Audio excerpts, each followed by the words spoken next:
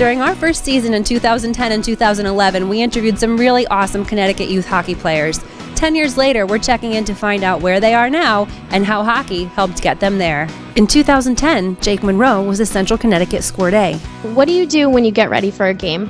I dance, yeah.